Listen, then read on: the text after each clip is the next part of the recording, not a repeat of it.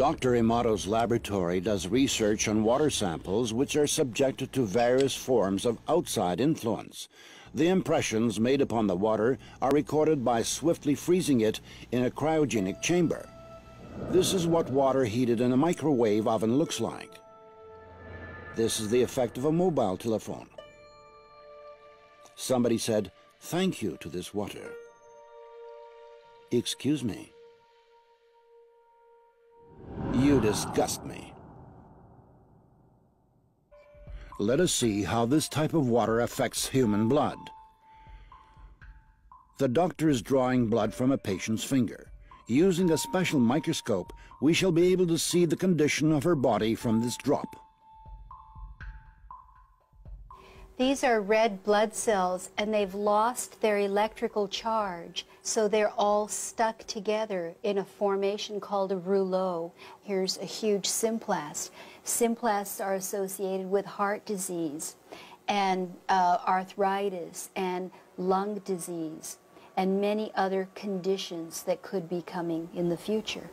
The doctor asks the patient to drink a small amount of structurized water. After 12 minutes, the doctor again draws blood from the patient and studies it. So you can see that the cells then become buoyant, they become slippery, and they have their electrical charge, so they repel each other. That allows them to carry oxygen, and it means that we're changing the pH of the blood back to an aerobic environment rather than an anaerobic environment. I think that's utterly amazing that, that a water could, that just drinking water could do that.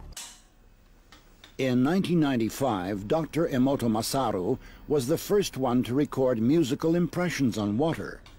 In Dr. Emoto Masaru's laboratory, they allowed water to listen to music, after which they flash froze the water. And then, under the microscope, they could clearly see the crystals that the water had formed. Here is what the music of Bach looks like.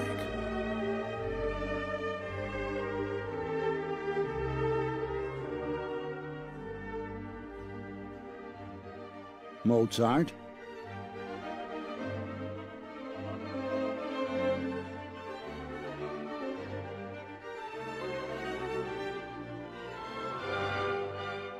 Beethoven,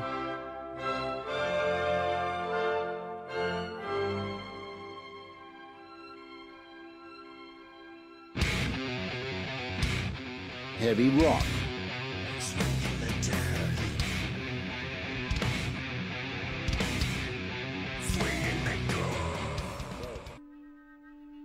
Dr. Emoto has conducted another interesting experiment. He placed rice into three glass beakers and covered it with water.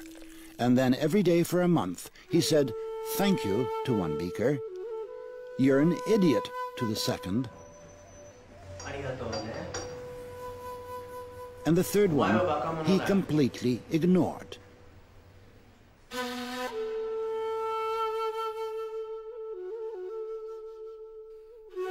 After one month, the rice that had been thanked began to ferment, giving off a strong, pleasant aroma.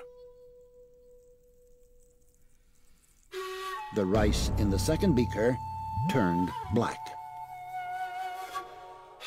And the rice that was ignored began to rot. Dr. Emoto thinks that this experiment provides an important lesson especially with regard to how we treat children. We should take care of them, give them attention, and converse with them. Indifference does the greatest harm. There have been many wars on religious grounds in human history. But in our experiment, water reacted to individual words that had a religious content by forming beautiful crystals. This means that the conception of our nature coincides with each religion the Christian prayer, the Buddhistic prayer, the Muslim prayer.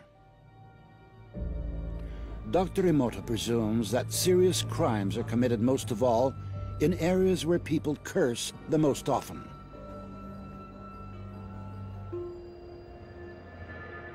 idiot. I hate you. Laboratory containers of water were inscribed with hieroglyphs denoting words and the names of well-known people. Love. Hope. Soul. Mother Teresa, Hitler. Emoto Masaru's numerous experiments aimed at finding the word that cleanses water most powerfully have shown that it is not just one word, but a combination of two. Love and gratitude.